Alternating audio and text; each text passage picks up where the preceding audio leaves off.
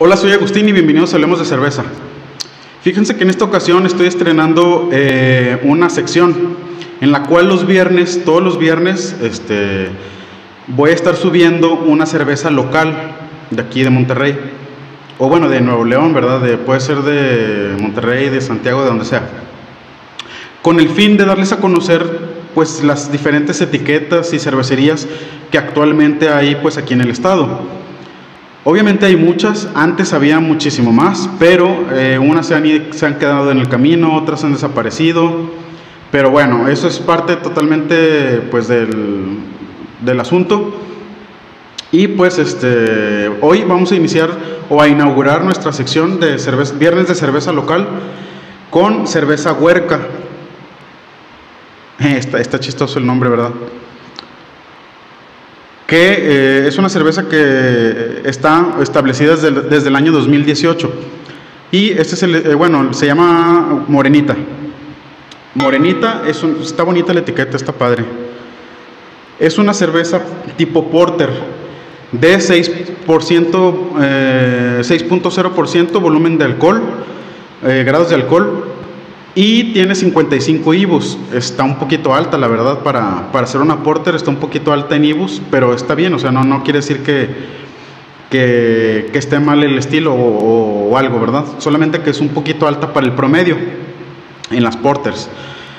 Entonces, bueno, es una primera impresión, no la he probado, no la he probado nunca, entonces, obviamente sí había visto varias ahí en el, en el supermercado, pero cuando la compré obviamente yo quería comprar una clara o así, pues por el calorón que está haciendo ahorita en Monterrey, pero fue la única que encontré. Entonces dije, bueno, pues es una Porter X, ¿verdad? Pues el, como quiera a mí me gusta tomar portes o stouts, así estemos a 40 grados, yo como quiera me las tomo.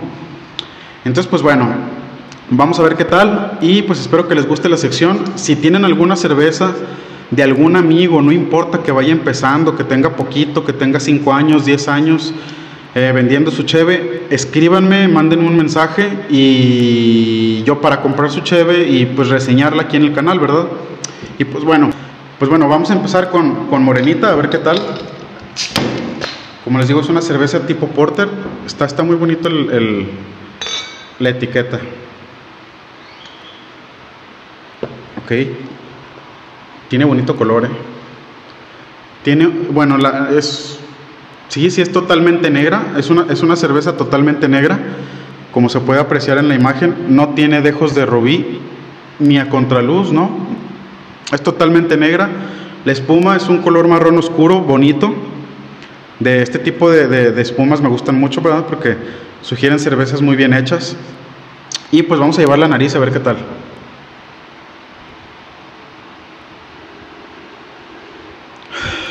Ok.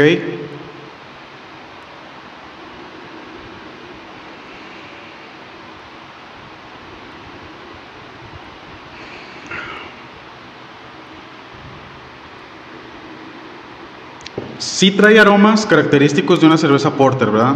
Aromas a café, aromas a maltas chocolate, a maltas tostadas, pero, pero,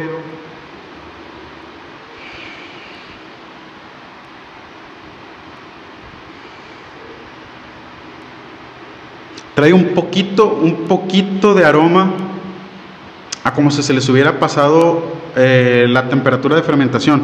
Ojo, no es, no es este diacetilo, no, no es diacetilo, es, es pudiera ser un, O sea, no huele mal, huele bien, huele rico, aromas característicos a, a de, de cervezas oscuras, en este caso pues es una porter, y pues bueno, vamos a servirla a ver qué tal.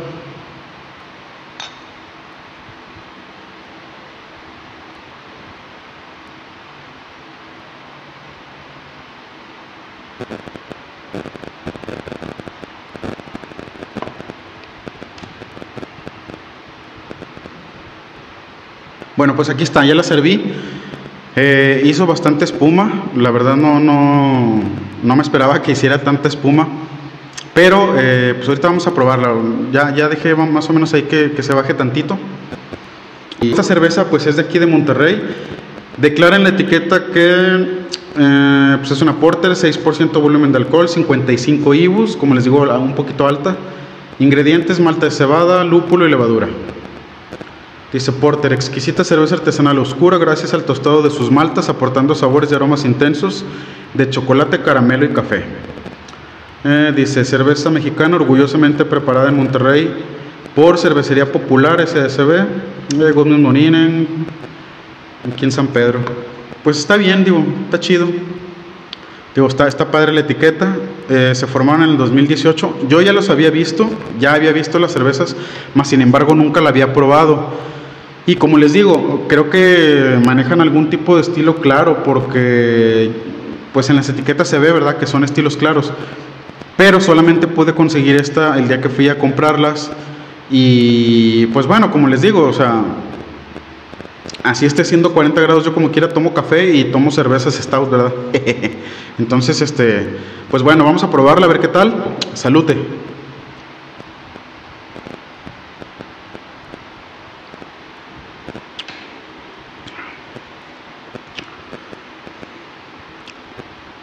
Ok. Está interesante. Está buena.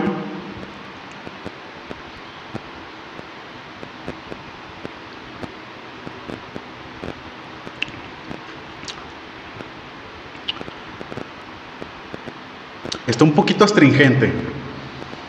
Sí, entra en boca de, carbonatación media alta. Está muy carbonatada.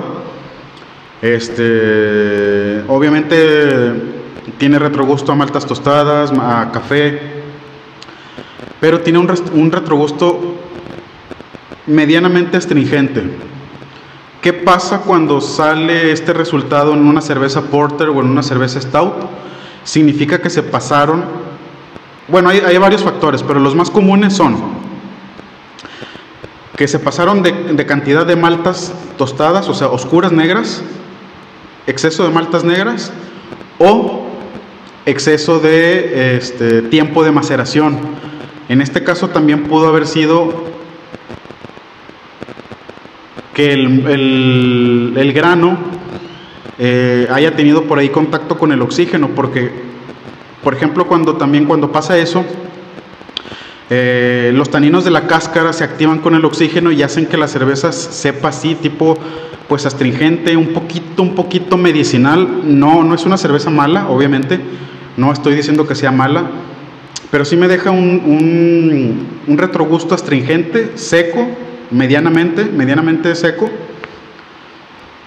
y medicinal. Entonces, eh, eso, como les digo, eso ocurre por muchas razones, pero las más, las más comunes son esas. El exceso de maltas oscuras, el que, le haya, que se haya oxidado el, grano en el proceso de maceración, y pues bueno, pero no pasa nada, o sea, es una cerveza buena. Yo la recomiendo, sí, sí la recomiendo para que la prueben y ustedes mismos saquen sus propias conclusiones. Voy a tratar de conseguir las otras, este, que son de otro estilo, pues para ver qué tal, ¿verdad? Pero vamos a probarlo otra vez, a ver qué, a ver qué onda. Aquí ya se bajó la espumita, si se fijan. Como les digo, sí es una cerveza totalmente negra, y la espuma es un color marrón oscuro. Entonces, este huele rico, huele bien. Vamos a probar la salute de nuevo.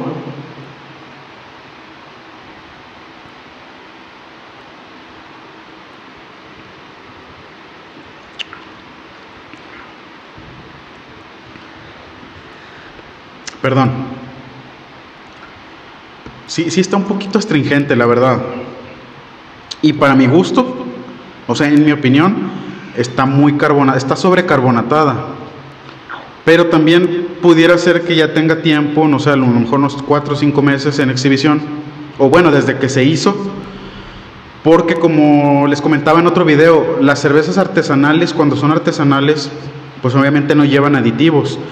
Y en la, en la botella, tanto en la botella como en el barril, en la lata, son cervezas que están en constante evolución. Por eso siempre, siempre les he dicho, por ejemplo, a los, a los dueños de bares, a los dueños de restaurantes, no guarden la cerveza en donde hay solventes, en donde hay pinturas, en donde, en donde tengan materiales corrosivos o que, o que huelan mucho, ¿verdad? Pegamentos y todo eso. ¿Por qué?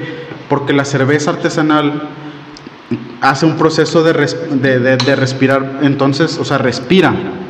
Y todo lo que esté de ambiente, de olores a su alrededor, los va a absorber.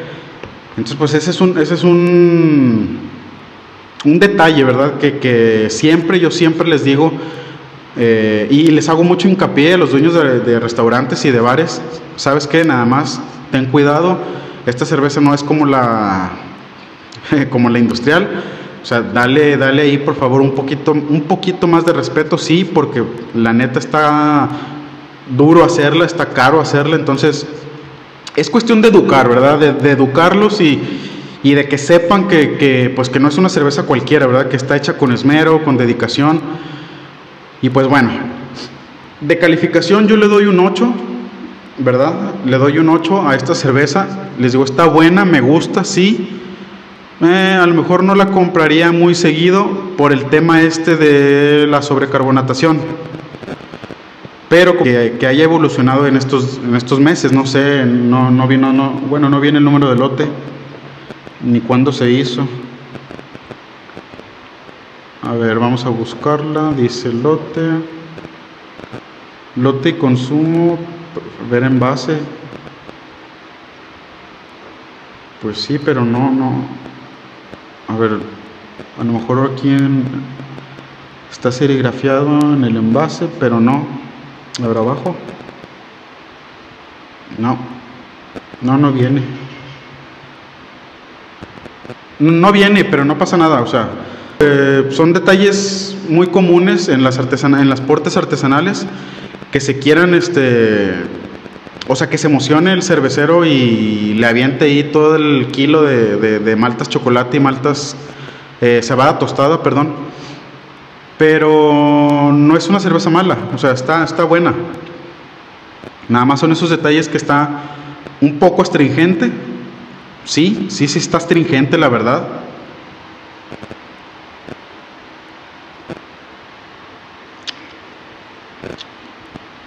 ¿sí?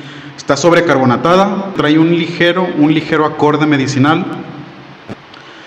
Eh, no me acuerdo del, nombre técnico, es una flavor obviamente. Pero pues no, no trae diacetilo ni eso, no. O sea, está bien. Nada más el detalle ese de la sobrecarbonatación, pero bueno, le doy, le doy un 8 de calificación. Está buena, sí, cómprenla para que la prueben, para que saquen sus propias conclusiones. Este, y pues bueno, yo creo que hasta aquí llegamos, eh, inaugurando los viernes de cerveza local.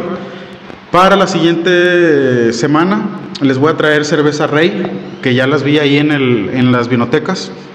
Y bueno, creo que también en el supermercado la vi. Y pues voy a comprar, voy a comprar dos de una vez para, para enseñarles dos estilos. ¿Verdad? Porque mm, si, no sé si se acuerdan que subí el video de, de la colaboración de Wendland con Rey de la Maxi Hoppy Lager, eh, Viena Lager, pues, una cervezota. Y como les dije en ese video, no he probado las cervezas Rey y pues me da, me da penita porque pues soy, soy de aquí, ¿verdad? Se supone que también ya, ya debía haberlas probado. Pero bueno, pues, por una u otra cosa no, no las había probado. Entonces, este, pues yo creo que hasta aquí llegamos. Espero que les haya gustado el video. Si tienen algún comentario o algo, este, háganmelo saber. 8 de calificación. Eh, temperatura de servido, pues entre los 9 y 12 grados. Eh, temperatura típica de una porter, de un stout. Y pues bueno, está, está bien, nada más esos detalles que, que, pues no me agradan mucho en una cerveza porter, porque es que miren, son muy notorios. En una cerveza de este estilo es, es demasiado, demasiado delicada y rápidamente le sacas soft flavors. Por ejemplo, si trae diacetilo, te vas a ver a mantequilla de maní, a mantequilla de a mantequilla, así eh, como de palomitas. Este si trae ácido butírico, te vas a ver mantecosa, o sea, hay muchísimos soft flavors que se le pueden sacar a una porter mala, ¿verdad? Una porter mal hecha y que sin embargo hay muchas ahí en el mercado y pero lamentablemente, ¿verdad? Pero les digo, eh, cerveza huerca, mm, pues no, no, no, es una cerveza mala, simplemente esos detalles que, que les comento y pues bueno, no pasa nada. Es, es muy común emocionarse y aventarle ahí todo el kilo de maltas oscuras, pero sí, sí hay que tener en cuenta mucho eso, que, que, que el exceso de maltas oscuras te va a producir astringencia en el, en el mosto, en, bueno, en, las, en el líquido, ¿verdad? Obviamente, ¿qué se puede hacer cuando te gusta usar muchas maltas oscuras y que tú digas, ¿sabes qué? A mí me, que me gusta que salgan bien, bien chocolatosas a café, a espresso. Bueno, lo que yo hago es nivelar las enzimas y los azúcares fermentables y las proteínas con avena. Entonces, ese es un tip bastante chido porque regula bastante lo que es la astringencia de las maltas oscuras y al, al mismo tiempo le da una sedosidad, una cremosidad a la cerveza que está bastante, bastante recomendable. Entonces, bueno, obviamente no les estoy dando consejo a ellos, ni mucho menos, sino que es como que un consejo en general, ¿verdad? Para, para los que hacen este tipo de, chele, de cheves. Entonces, pues bueno, hasta aquí llegamos con el, con el viernes de cerveza local. Espero que les haya gustado. Ahí si gustan darle like, este, compartir, dejar sus comentarios y eso. Y con amigos que hagan cerveza, que no importa que tengan poquito, no importa, no importa. Este, pues háganmelo saber, ¿verdad? Para comprarle sus cheves y este, pues poder reseñarla, ¿verdad? Entonces, bueno, nos vemos en la próxima. Mi nombre es Agustín, estos hablamos de cerveza. Salute.